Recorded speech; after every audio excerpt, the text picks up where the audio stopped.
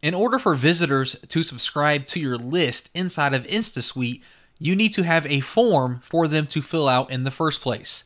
So during this video, we are going to be talking about step number four, create form. So once we have that selected, you will be able to see all the different forms that you have created.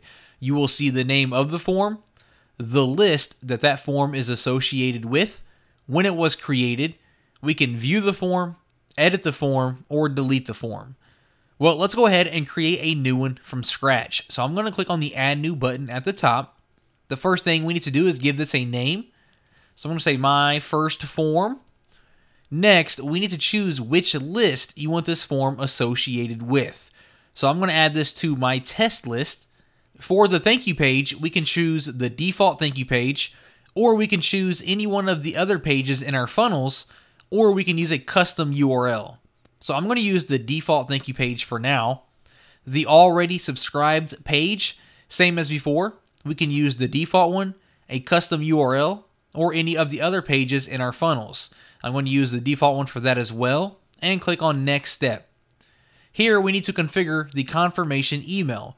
First of all, would we like to enable or disable the confirmation email? So when we enable it, we can choose the default page, a custom URL, or any of the other pages we have created. And then for the confirmation email itself, we can select a template to use here, or we can go ahead and type out our own email with the subject and the content here. We also have these custom codes that you can import into the email, and they will be automatically replaced with that visitor's name, their email address, etc. And of course, once you type out your email, you can save it as a template for future use. So I'm going to use the InstaSuite template here. And when I do that, you can see it automatically populates. So I'm going to click on next step. Here we have the design of the opt-in form. So what we can do is click inside of this opt-in form and it's going to open up, for example, the description text. I can change the text here, click on OK.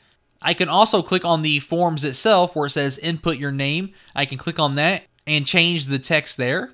I'm going to click on OK and we can customize this to make it look and say any way that we want it to.